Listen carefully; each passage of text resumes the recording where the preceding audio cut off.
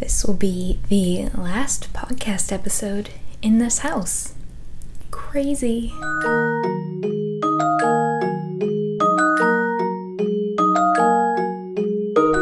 Hello, dear friends, and welcome to another episode of the Dear Friend Podcast. If you are a returning viewer, welcome back. And if you are new, hi, I'm Eden. I'm the owner of Yarrow & Co., where I sell uh, handmade treasures. I'm also a pattern designer and, well, obviously, podcaster. Uh, you can find me on Instagram as yarrowmail44. You can find my shop at yarrowco.squarespace.com. And you can find me on Lovecrafts and Payhip. So, before we start everything, I would like to announce the giveaway winners. So, I completely forgot to grab wait prizes. One sec. The yellow pouch is not here right now. there are the cakes. Um, they kind of got put away in the the um, cleaning up scenario of moving. So I'll just show you the yarn bowl, and I will put a picture of the cakes in here because they're kind of hard to show on camera, anyways.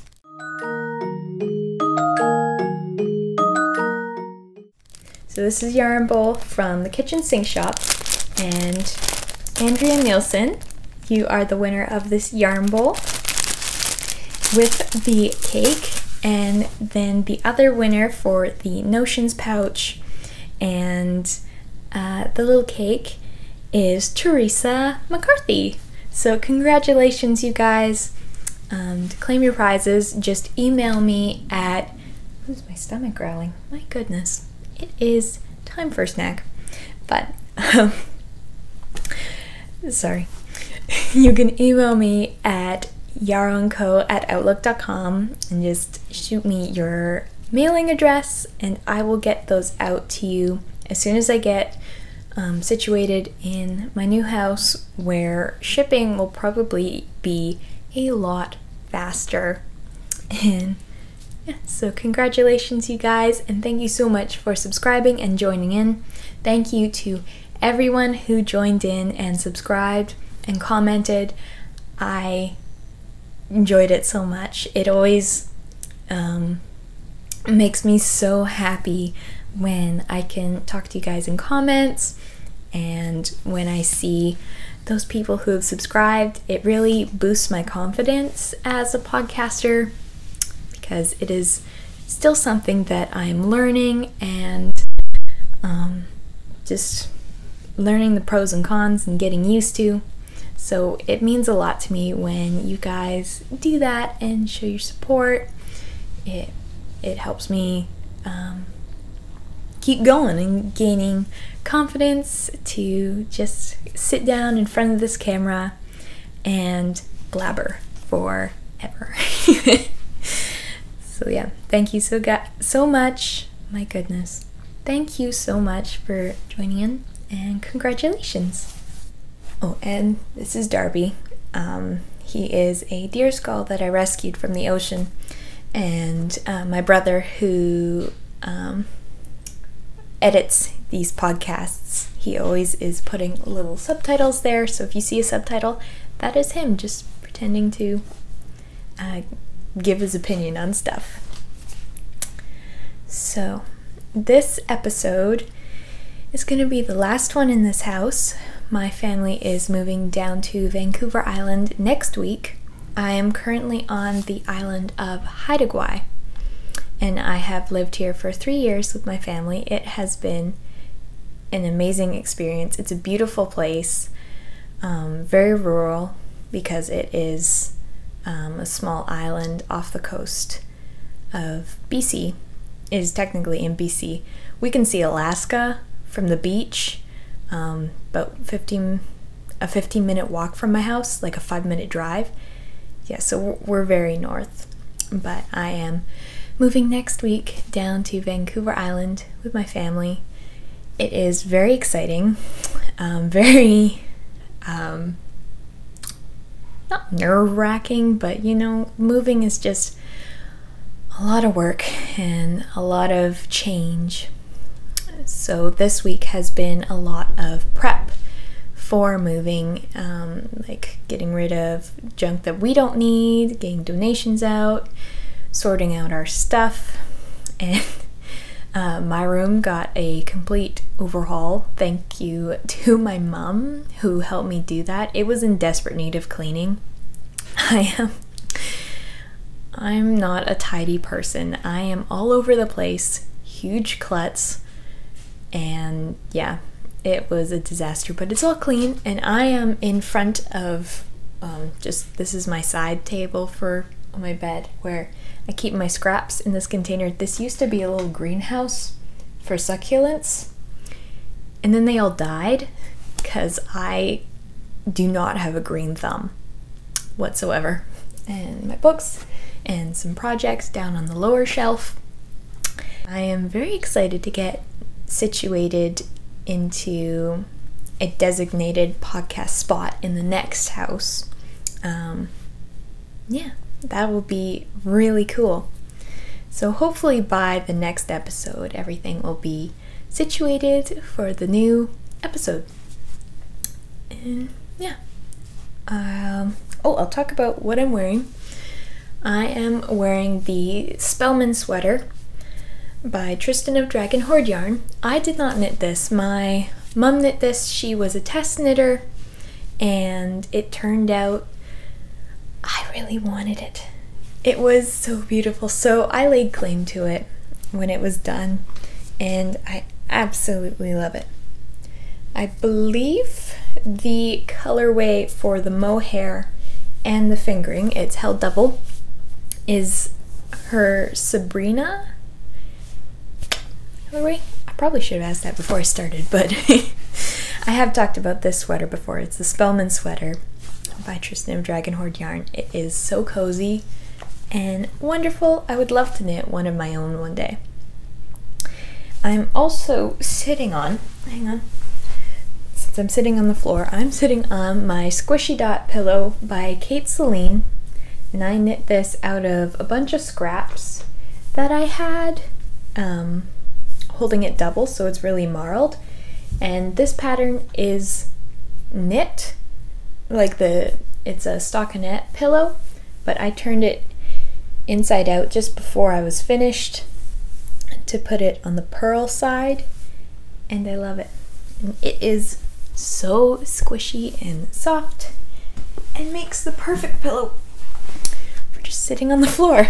Okay, big thank you to everybody who bought mystery clubs and those are all out now to you guys. I will be releasing um, pictures of them at the end of April so I can be sure that nobody's getting spoilers. I had a ton of fun making them. I'm really proud of them. I have been realizing, like, you know how people say the more you work on something, the better you get at it? That is very true to any hobby or anything that you do.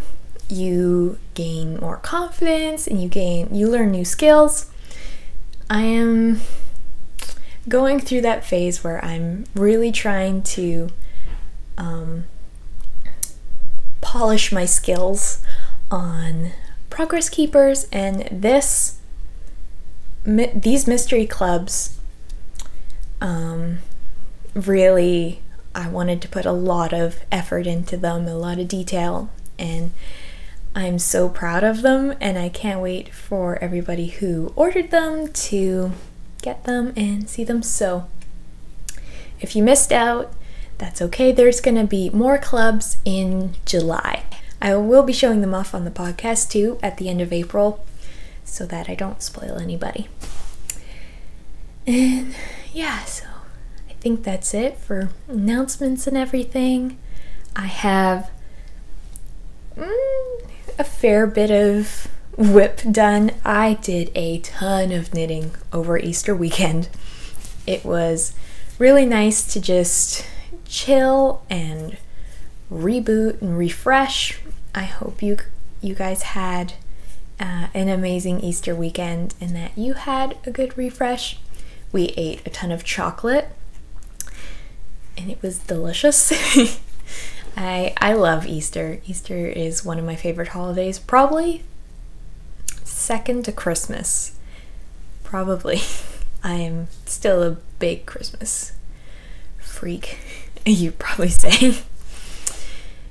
so, yeah. So I have one finished object and a bunch of works in progress. Let's just get into that stuff. My little drink for today is an Earl Grey tea with some fancy foam. It is in my massive mug. Shout out to Jamie of Cozy Up Knits with her soup bowl mugs. Uh, this is mine, and this is from a local potter here on Haida Gwaii. She does beautiful work.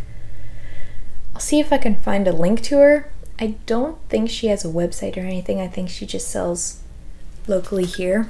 We got these at our local coffee shop, though. Um, the Ground, just here in town. And it's amazing. I, am scared to sit because it was really hot before. Hmm. Oh, it's good now. Mm -mm. I'm having an Earl Grey tea. And this, I don't know if I said that, but there you go. so I have one finished object, and that is my holly socks. So this is made out of um, yarn from K-Zip Knits. This was her holly sock set. It is uh, on her gold stellina base, so I don't know if that brings in that gold glitter, but is so sparkly. And I just did a 64 stitch vanilla sock on size 2.25 millimeter and just knit um, straight up. I did a German short row heel. I did these toe up. A mistake I made when I was casting off these socks, I was FaceTiming with my boyfriend and I was just knitting away and I was so excited to cast these off. And then I realized when I, I was doing these magic loops, so I did the first half on the sock, I realized that I was doing the wrong cast off. It was just the regular non stretchy cast off. I mean, it has a little give, but not an incredible amount. It's like, oh no. But I made up for it by doing a stretchy cast off on the other half of the sock, and they fit fine. There's still a lot of give on there. So that's the fun quirk for these socks. And yeah, it has this really cool pattern. It kind of looks vintagey with those white spots. But these are gonna be my Christmas socks, so they will get put away until December. I might wear them for like Rudy days, but I think these will be like the socks that I pull out on the first day of Vlogmas for this year and just wear them throughout December. I think that'll be really fun. Um, if you want a vanilla sock pattern, I just made this up as I went. But if you want a vanilla sock pattern, you can try um, Kjerste's Swanky Socks by Victorious Wool, or there is a new pattern just out. This is a free pattern by um, Amy Kate of The Graceful Tangle. She just released her Success Socks, which is a free pattern for a plain vanilla sock, and it is awesome and would do the exact same thing as this. So, yeah, that is my holly socks with the yarn from K-Zip Knits. I don't know if she has any of right now. Maybe she'll have some closer to the holidays because um, I got this two years ago and I had meant to cast them on for Christmas Eve on Christmas Eve of 2019 maybe. But I cast them on last December for um, Christmas, and well, I didn't cast them on at Christmas Eve. I, I cheated just a little bit and cast them on on the 23rd because I was just way too excited. So, yeah, those are my Christmas socks for next Christmas. And that is my only finished object. But I have some new WIPs that I'm so excited to show you. Okay, let's get into that. It is an incredibly stormy day out today. It is super dark. Um, I hope this doesn't look too weird with how dark it is, but I don't know, that's okay. It is the typical wet West Coast weather. West Coast weather. There's a tongue twister for you. But yeah, so works in progress. Let's start with these. I don't know if I had these cast on the last time. I think I talked about it the last time, the last podcast. But I cast on another pair of bluegrass socks by Amy Kate of the Graceful Tangle. And I cast them on with, I'm in the middle of a row. I cast them on with um, Mondim yarn. So here they are. They're just little cuffs right now. But it is this super cool pattern with this yarn. Sorry, my mic is right here, so I'm trying not to knock you over and make a loud bang. so it is this super cute ribbed pattern. Um, ooh, I'm doing these two at a time. Also, I've got my little little cookie charm. These are in the shop right now. There's a little star cookie. It goes great with this yarn. So this is Mondim yarn. It is, I made this mistake last time. I'm going, I'm so sorry. I said this was French yarn. This is Portuguese yarn. It is 100% Portuguese yarn, which is so cool. Um, I would really love to go to Portugal one day, and it is my goal to visit this yarn shop. So, get the so this is Mondim yarn. It is, a lot of this is in Portuguese. I intend to learn Portuguese at some point, as soon as I learn how to speak English properly. So it is 100% Portuguese wool, um, 421 yards, and this is the colorway, color number 207. Uh, so yeah, it's got these turquoise speckles, pink speckles, and then um, it's got a it's kind of like a purpley black, like a I keep wanting to say grape soda purple with black, if that makes sense. It is really soft and feels really sturdy. If that makes makes sense, like sturdy has a feeling and this is very sturdy. It's nice and soft. And the colors, oh, I just love these. These are kind of like my go-to vanilla sock pattern. Sorry, my voice is cracking. Um, yeah, these are gonna be like when I don't really want to think about anything. These are gonna be my go-to project. Definitely be the I'm sorry, there's wind shaking my door. I'm definitely to be taking these on the trip. And I'm just keeping these in my Harry Potter bag. This is a bag I got at a craft fair from a local maker.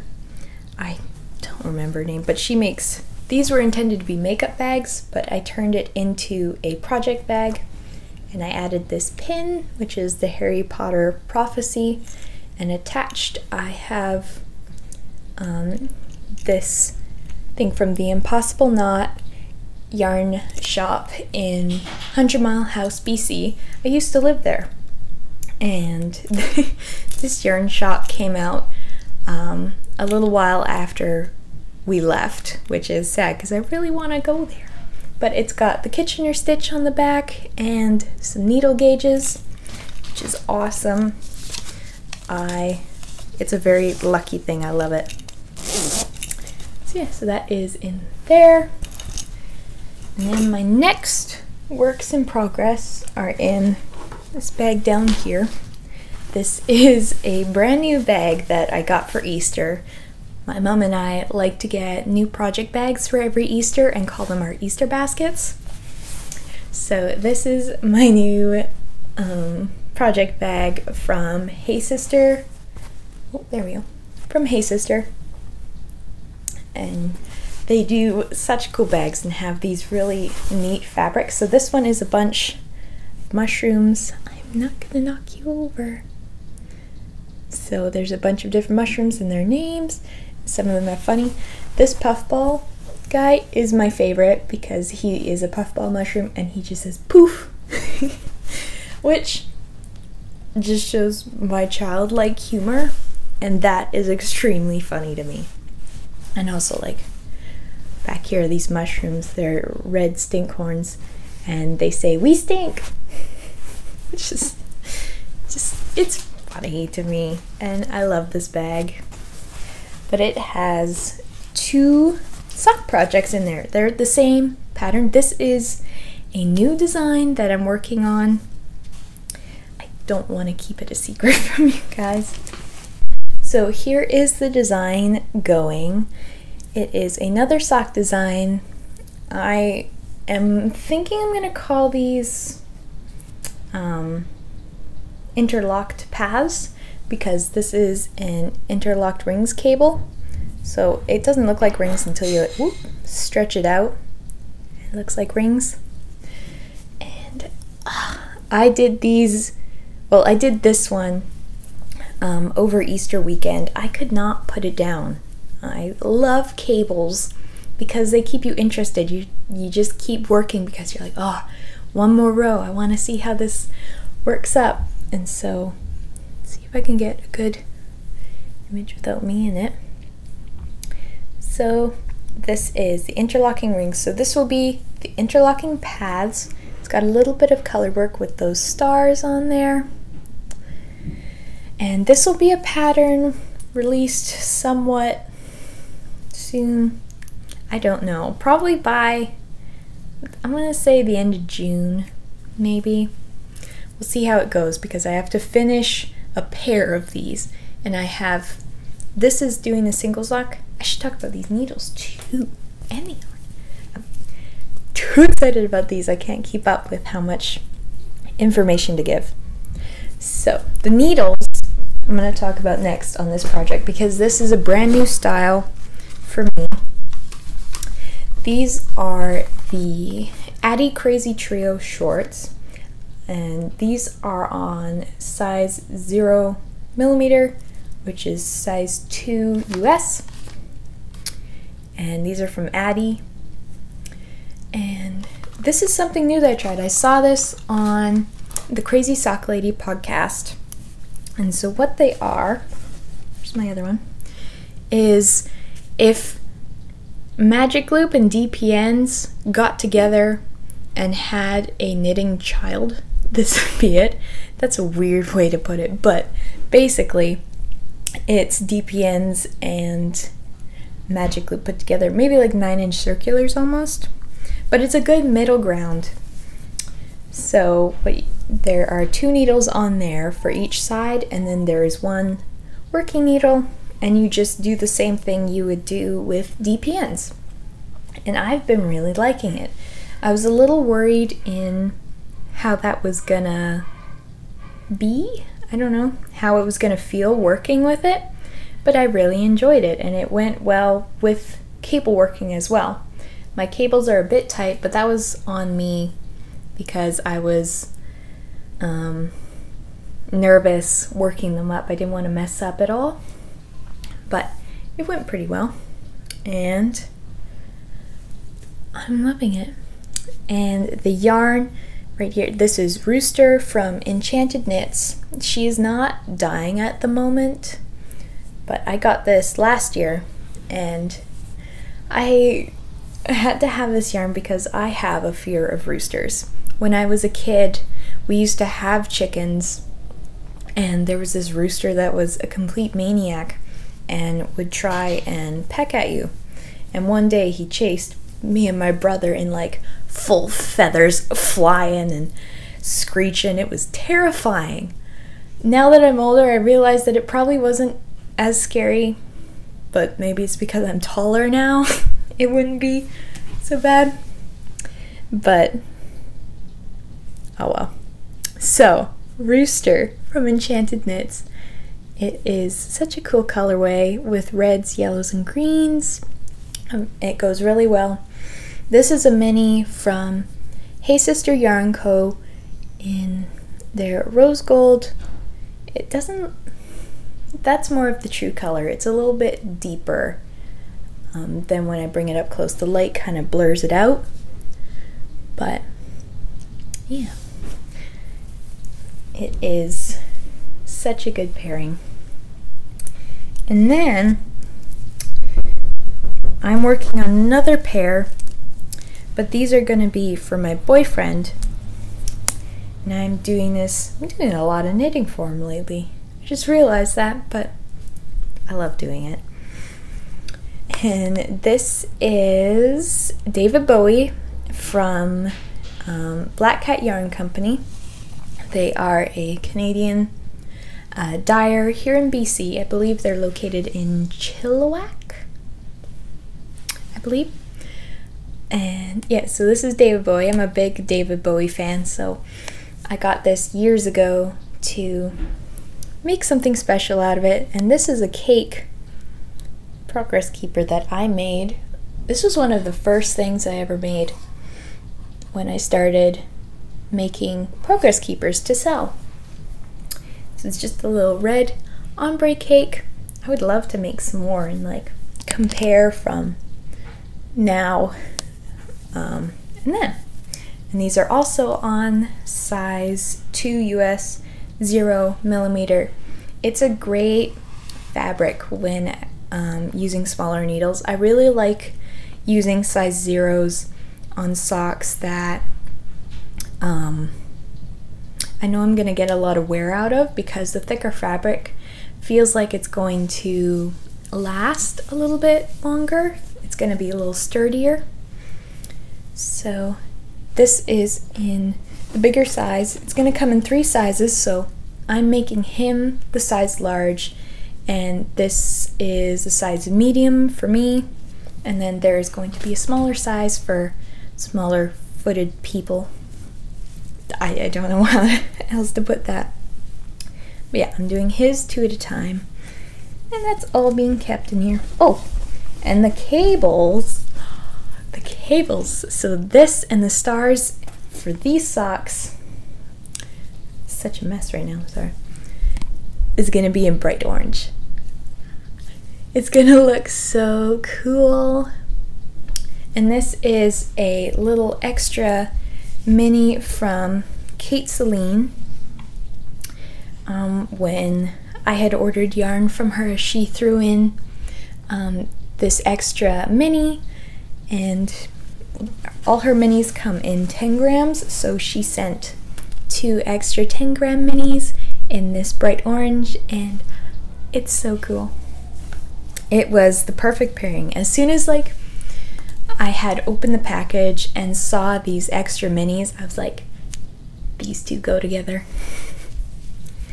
And yeah so that is a super I say super exciting way too much, but this is to be an amazing project. I can't wait to get that pattern out to you guys because it's another thing that I'm really proud of. I feel like this is something I'm stepping out of my comfort zone because so far when I make things, it's slightly simpler so I really wanted to do something a little bit fancier.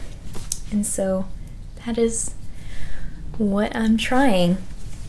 So yeah, don't expect those anytime soon though, because it's gonna take a while to get all of them done. But hopefully by the time I finish, at least by the time I'm done one of my socks and my boyfriend's socks, I can start writing up the pattern and get it tested.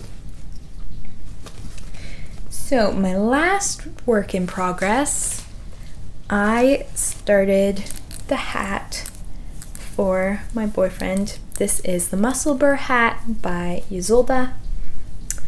And it looks like a little little mushroom cap right now. A little fancy cap. and let's see if I have a picture here I can show you. It's a little beat up now. But there it is. It is a hat that you knit double layered, so you just cast on and do your increases from the center at the top, and then you just knit this super long tube and then do the same decreases on the other end, and it creates a really cool hat.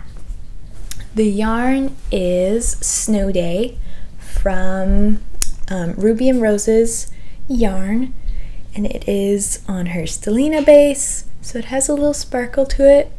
I had asked my boyfriend before I cast this on, like, would you wear a sparkly hat? He's like, yeah, absolutely. and so this is what we are working with. I'm loving it. I had a little trouble figuring out casting on it. It's not the pattern's fault whatsoever, it was just me making uh, mistakes as I do. But so my mom helped me cast on, and I am really grateful for that. She got me started on the increases on this. And before, when I had been messing up, I was like, you know what? I'm just gonna hold it double and crochet a D'Artagnan toque. Which was a good idea when it started, but then I didn't think about the fact that holding it double, you half the amount of yardage. Like that, it's obvious, but in the moment, I wasn't thinking about that. I was too excited about the yarn and to get started on this hat. So I got about halfway through the hat and then realized that there is not enough yardage on here. The D'Artagnan toque requires about 280 yards of um, DK weight yarn. So for this, it was about 210 yards um, so that was not nearly enough. So I learned my lesson and stayed up till about midnight undoing this hat because undoing something held double is really hard. And, but it is definitely a labor of love to get this, oh, sorry, on track. But it is on track. And I have about a week and a half to finish this before I see him next week. Yeah, next week. Next weekend. Not this weekend, next weekend. Oh my goodness. But next weekend. And yeah, so that is the challenge. And I have this used to be a necklace. It used to be this necklace right here of my little Captain America pendant here. And then I have his mask as a stitch marker, which goes really well with this yarn. I'm a big Marvel fan, huge Marvel fan. So to throw in a, something a little geeky in there is pretty fun. And I'm knitting these. Sorry, I get so track. I'm knitting these on size 2.75 millimeter don't know what that is in US. I'd probably say my DPN size 2 um, US. Yeah. And these are just the DPNs I used to um, do the increases, my ChiaoGoo DPNs. I love these. I love ChiaoGoo needles. So that is all being kept in one of my cinch bags. Um, there's a bunch of these in the shop right now. It is perfect for this hat. So I got my pattern, my DPNs, um, my skein, and the hat in there. And it all fits perfectly with quite a bit of extra room without having it all squished together. So that is really nice. And that is being kept in my big old basket here.